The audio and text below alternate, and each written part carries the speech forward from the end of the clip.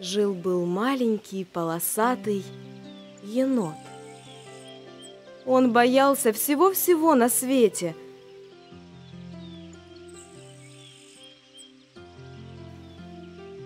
Каждое утро он ходил через ручей за деревянными палками. Это была его работа. Ему было очень скучно. Однажды утром, переходя ручей, он заметил белочку, которая мыла грибы и складывала их в корзину.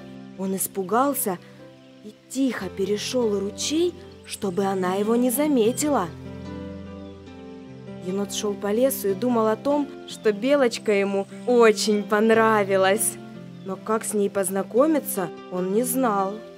Каждое утро по дороге в лес енот видел белочку, но подойти к ней и заговорить он не решался.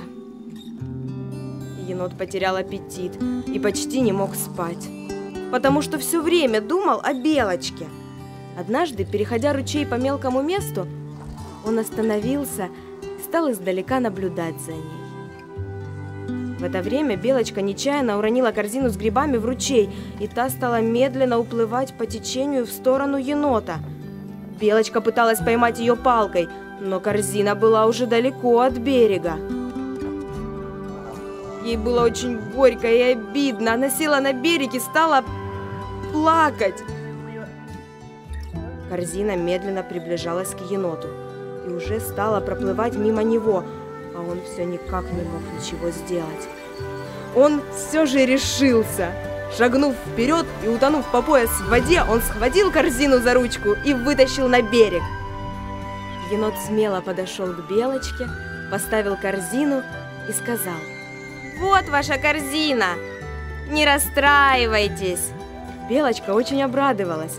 Большое спасибо. Ты настоящий друг. Маленький енот весь засветился от счастья. Ему еще никто не говорил таких слов.